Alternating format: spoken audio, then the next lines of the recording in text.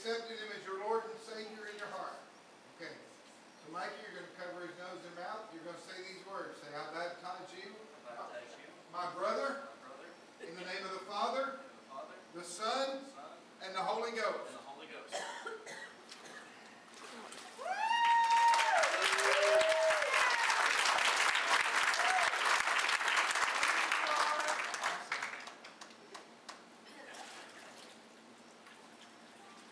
It's neat to see him following Christ at an early age. It's a beautiful thing. Amen.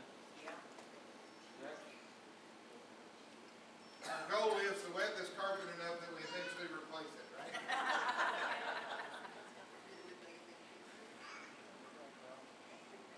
Shirts and shoes required? No. And what's your name?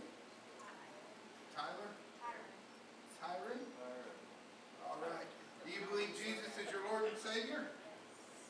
Yeah, slide back forward a little bit. Just that way. There you go.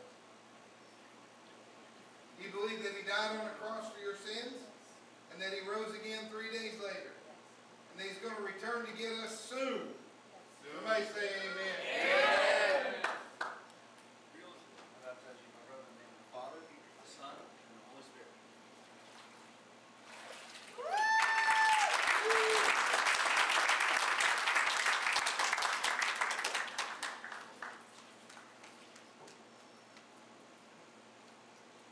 He's relatively new to the Beckler household, correct?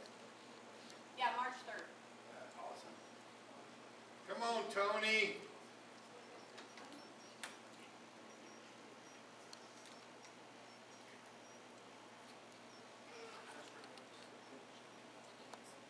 So we know Tony a little bit better than the other two. He's been with us for a, a while now, so I get to pick on him a little bit more. Um, Tony is a young, healthy, strong young man, but in his heart, he's a mother.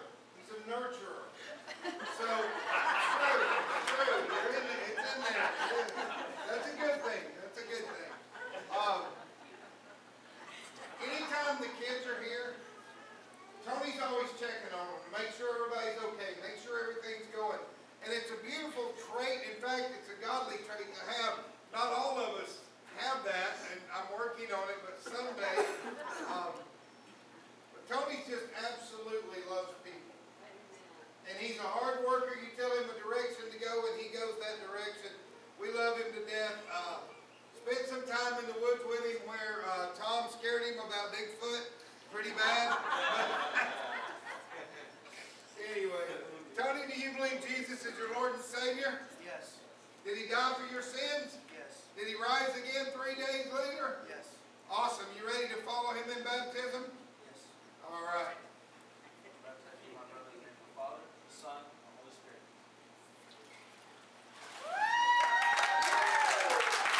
So he said, I will, I will. Well, later that night he called me and he said, I went out in my shed and he said, I said, God, I need to make things right. I made a promise to my friend and I need to make things right. So a little while after that, now Psycho, you got to understand, is a big, big man and, and got his nickname well. His real name is Scott. Uh, but me, and I weighed about 285 at the time, uh, and another pastor weighed about 280. We baptized him.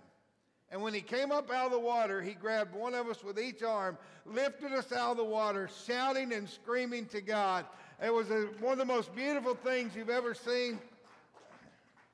There's shoes there. Uh, we'll leave those there. All right. But baptism is a beautiful, beautiful thing. Amen. Father, we thank you today for all you're doing in our lives. We thank you for this church, the beautiful, beautiful people that are here. Thank you for Miss Kristen Adams being back with us today. Yay, we are excited uh, that she is back with us. Others that are back today, Lord, God, we pray that you bless everything that we do here. Anoint my lips to speak life to your people in your precious and holy name. And all God's people said, Amen, amen. Uh, how many know baseball season's heating up, right? You gonna come grab your shoes? Get the socks too, they smell funny.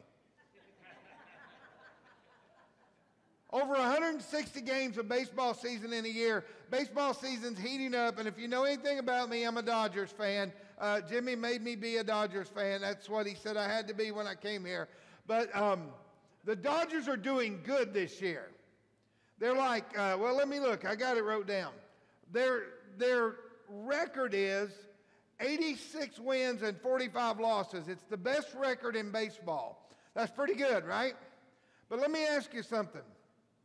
Have you ever looked at when a team is doing good, where they do good and where they don't? The Dodgers' home record is 52 wins and 17 losses. Phenomenal. Their away record is 34 wins and 28 losses. Home team advantage means something. Home team advantage means something, or home field advantage means something. They do much better when they're at home. And do you know, as born again children of God, sometimes pastors and you alike, we feel like although we're part of this great big team and we're, we're part of this, this body of Christ together, but sometimes we almost feel like we're isolated. Would anybody admit that?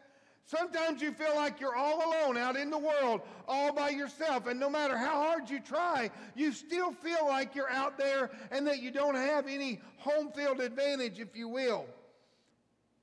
Today I want to talk to you about home field advantage. Turn with me, if you will, to Hebrews 11. Hebrews 11. You know, this is the faith chapter.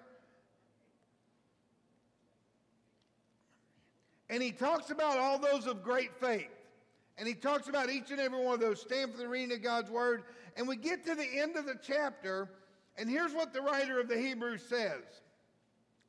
And others had trial of cruel mockings, verse 36, and scourgings yea, moreover, of bonds and imprisonment. They were stoned, they were sawn asunder, were tempted, were slain with the sword. They wandered about in sheepskins and goatskins, being destitute, afflicted, and tormented, of whom the world was not worthy. Can I just stop right here and say this to you? If you ever get it in your mind that the world is not worthy of you, It'll change the way you see everything. If you ever get it in your mind that you are a child of God, a child of the King of Kings and Lord of Lords, and that the world is not even worthy of your presence in it, you'll begin to feel like, act like the person that God created you to be. Moving on. They wandered in deserts and in mountains and in dens and caves of the earth, and all these have obtained a good report through faith, received not the promise, God having provided some better thing for us, that they without us should not be made perfect. Flip over to chapter 12. Wherefore, seeing we are also compassed about with so great a cloud of witnesses, let us lay aside every weight and the sin which does so easily beset us, and let us run with patience the race that is set before us. Looking unto Jesus, the author and finisher of our faith, who for the joy was set before him endured the cross, despising the shame, and is set down at the right hand of the throne of God. For consider him that endureth such contradiction of sinners against himself, lest ye be wearied and faint in your minds. Miss Wendy, will you bless the reading of the word?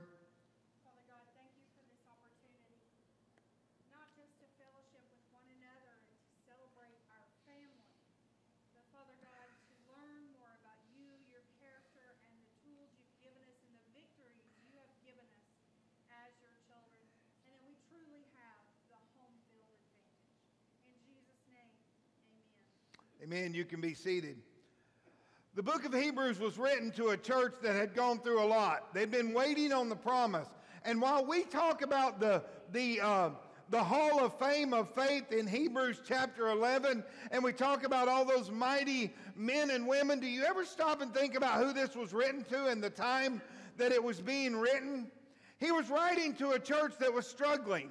He was writing to a church that was weary and tired. He was writing to a church that literally had felt like they had gone their last mile and that from there, for them, they were almost coasting till they got to heaven. They were at a place where they literally were tired. How many know that some of us today can get like that if we're not careful?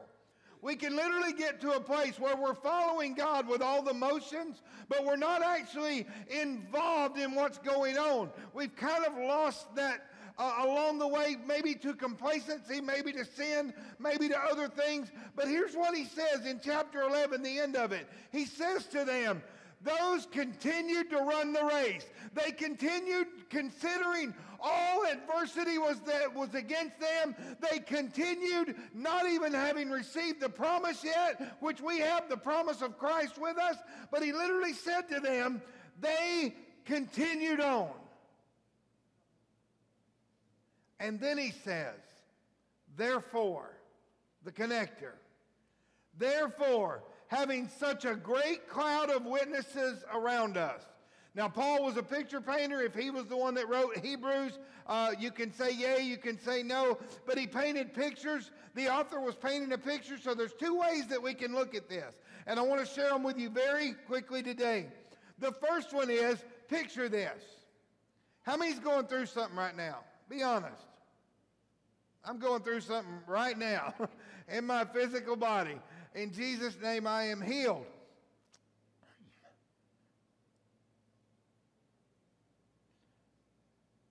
He said that you are surrounded by such a great cloud of witnesses.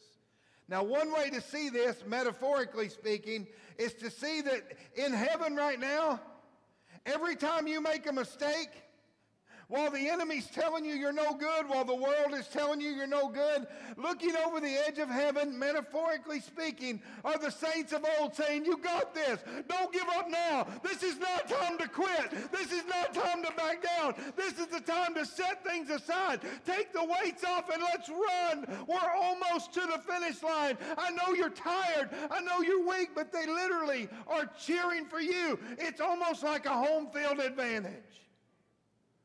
But the enemy wants to block out the crowd. But if I can just stop and realize in my waiting, in my sickness, in my weakness, in my distress, in all those things that come against me, if I can just hear the crowd, they're saying, You got this. You've got this. Don't you dare give up now. Don't you let up now. How many born again men and women of God have given up at the doorstep right before they got to their victory? We see it every day in ministry. And I just wanted to come today to tell you that all of heaven is cheering for you. Now, that's one way we can look at this. But let's look at this another way. The scripture says, therefore, being surrounded by such a great cloud of witnesses. And the word translates literally in the Greek to two different ways. It means that they were up there cheering, but it also means this that they are saying, every one of us made it through. Every single one of us made it through, and every single one of us did not believe that we were going to make it to the next step. None of us thought we were going to make it to the next day. Every single one of us was tired and weary, but here we are today to tell you you can do this. You can overcome. You've got this. All things are possible with God. And the enemy says, You sinned again. You messed up. And the Hebrews writes to us and says, Keep going. Put it aside. Don't worry about the weight of the screw up. Don't worry about the mistake of yesterday. Ask for forgiveness and move on. It literally says, Look to the crowd. Hear what they're saying to you. You can do this. But the enemy tells you you can't. Anybody been sick for a long, long time? I start going through these tests again this week. The nurse said, How long has it been since you've had this test? I said, She said, Well, you got to have this every year, but I don't see a record of one. I went, oh, oh, oh, oh. She said, How long? I said, Well, about eight years. Oh, eight years since I had the last. What? When I was 23, they told me I wouldn't survive, that I, I have a pheochromocytoma. I'm going to die before I'm 30. In about five days, I turned 53. They still say it's there from eight years ago, the last time I had it checked. And they still say I'm going to die from it before I'm 30. But here's what I know God showed me a long time ago. You get up every day and you keep going. And we'll worry about what happens today, today, but we're not going to continue dragging the past with us. We're not going to continue. We're going to move forward. We're going to move forward. You have a crowd of witnesses. You literally have a home field advantage. Do you know what he said in the Old Testament? Father, open their eyes to see that the ones that are with us are far greater than those that are against us. There are people in this room who had tumors on their kidneys and they're still cancer free. Breast patients, cancer free. You say, well, we've lost some along the way. It's appointed unto man once to die. It's going to happen to everyone if Christ doesn't return first. But we cannot take what we know may happen and take it and apply it. I'm trying to hurry, but I probably shouldn't go here. It's not in my notes. I should probably shut up right now. You know, my mom has serious heart problems, and, and it's not good. They're, they're down to the point to where, okay, we've done about all we can do. But two weeks ago, I got a call. It said they found mesothelioma in her lungs, and that's what killed my dad. He was an asbestos worker, as you know.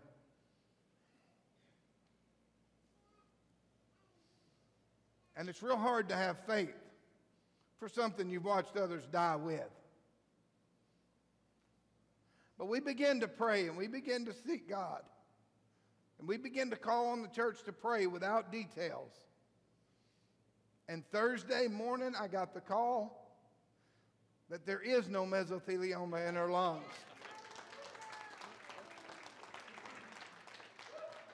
because we serve a miracle working God. We serve a God that confounds and confuses the doctors. We serve a God that literally has a crowd of people cheering for you that have overcome. And they're saying to you right now, you can't back up. You can't back down. You can't let up. This is not the time for that. You have home field advantage. You have everyone out there yelling for you, shouting for you. Everyone on God's side is on your side. Look around the room. When you send out a prayer request, people begin to pray. People begin to move. I got to hurry. I got to go on. The whole book of Hebrews is basically written to a church that is in this place where They've been there so long, ready for the next move of God, for the promise to be fulfilled, and yet it seems like it never comes. Hebrews chapter 2, he writes, Pay close attention to what you have heard so you won't slip away. Hebrews 3 he says, Be careful not to fall away to temptation. Encourage one another to stay strong. Hebrews 5 he says, Grow in grace and knowledge that you should literally be teaching by now. Hebrews 12, he says, Strengthen those who are weak and the knees are feeble, strengthen them. With all the warnings, here's the nutshell of this thing.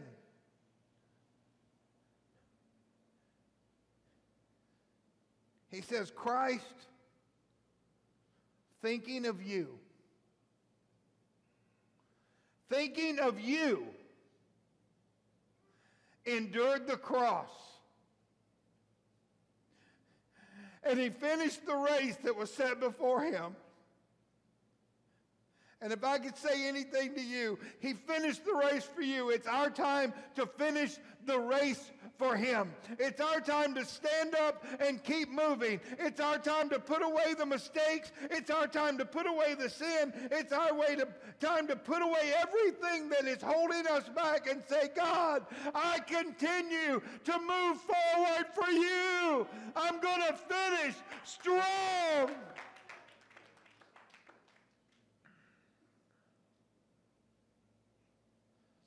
Not exactly the way I planned this morning. The good thing we go by his plans and not mine.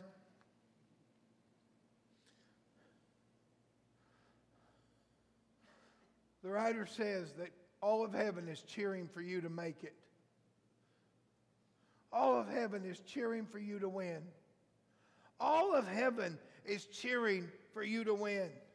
And your brothers and sisters sitting in this room are cheering for you to win. And God said, I have already overcome the world. Don't give up now. Don't, I know it's tough and I know it's hard and I understand that, but this is not the time to give up. This is the time to press forward. And although I've got an enemy on the field against me, if I will just stop and realize that everyone in the stands is on my side. Everyone that's out there that made it said, You can do this. You ever heard the eagle story? I'll give you the quick version. There were eagles in a valley. And this man, this man from the tribe came up and he was showing this pastor all the crosses of where eagles had died. And they get down in the valley. And when they get there, calcium begins to build up on their beaks. And they begin to, to get where they can't fly anymore. And calcium begins to build up. And they can't get up and go anymore. But at a certain time, other eagles begin to fly over, screaming and yelling and dropping meat to them and throwing meat down. And the eagles begin to climb and they begin to get up on the rocks. Some of them don't. Some of them die in the valley. But the others begin to get up on the rocks and they begin to beat their beaks on the rocks and they begin to knock the calcium off and they begin to be able to fly again. God did not design you to lose, He designed you to win. And the enemy is trying to destroy God's people. And it's time that we realize we're not alone in this and we begin to fight like we've never fought before. We begin to push like we've never pushed before. I know we're waiting on the promise. I know, and I know if you look around in the world, things ain't right out there. But if you look back in history, things ain't never been right. But God's always been God. This morning, I come to tell you that you have home field advantage. Everyone around you is cheering for you to make it. Everyone around you. Don't listen to what the enemy says. Don't listen to what the enemy says. Rise up. Begin to say, I'm going to fight. Hear the roar of the crowd. Every single one of them has overcome already. And they're shouting for you. Well, I'm never going to have the life I want. I'm never going to have. Stop. Trust God and begin to believe that, you know what? With God, all things are possible. I am who He said I am, not who the enemy says I am. I'm an overcomer through Christ Jesus. I'm victorious. I don't know what this afternoon holds. I don't know how I'm going to feel later. But all I know is I wasn't going to miss my opportunity to come here and share with you this morning that God is on your side. And if God is for you, who can be against you? Church, if you've been weary, tired, maybe you've never accepted Christ as your Lord and Savior, I don't know what's going on in your life, but here's what I know. You serve a God that overcomes. And you've got a whole team cheering for you right now. And that shifts momentum and it defeats the enemy before you ever start the battle. I don't know what you need prayer for. I don't know if that's a relationship you need prayer for. I don't know if that's finances you need prayer for, if that's physical healing. I don't know what your needs are. Maybe a family member. Maybe it's so you can let go of unforgiveness. But I know this that God is on our side. And He's got a great cloud of witnesses that is cheering for you to overcome. And they're cheering for you this morning. Stand with me if you will. If I can get a couple or three of the elders to come up. They're going to lay hands on you and pray if you need prayer. You don't have to tell them what's going on. All you have to do is say this say, I need prayer. I'm weary. I'm tired. I'm like the church that the writer of Hebrews wrote about. So long I've been waiting. I'm so tired. I need my miracle. And I want to press on. Father, I just want to honor you. Most days the enemy tells me I'm a failure. And many days I believe what he says. But God, I'm praying right now through the supernatural power of your son Jesus that we would rise up and be strengthened in knowing who you are to us. And that if they come, if anyone comes or if many come, that you will strengthen them today and let them know that we win. That the scoreboard is already done. We win. I pray that you heal bodies and minds and finances and families and that you bring promises to pass through the blood of your son Jesus. Amen. You ladies, come on.